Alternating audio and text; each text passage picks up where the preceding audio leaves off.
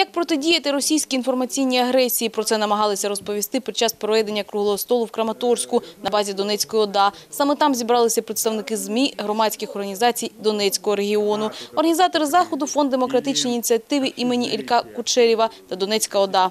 Фонд провів моніторинг інформаційних джерел, аби визначитися з тим, наскільки ефективна інформаційна війна між Україною і Росією. За словами одного з експертів, їх мета – дослідити не лише статистичні дані, а й більш емоційні речі.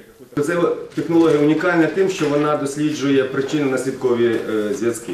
Звідки взялося, що вона може перейти, та чи інша, е, е, ну, згадаємо історику про, історію про розп'ятого, розп'ятого хлопчика, але це був такий класичний приклад. Зараз уже інструментарій і прийоми, які застосовують проти України з боку російських пропагандистів, вони стали тоншими, За словами експертів, вони провели моніторинг впливу різноманітних ЗМІ на одержувача інформації. На їх думку, найбільш ефективні форми подання матеріалу – інтерв'ю, репортажі, а не експертна оцінка.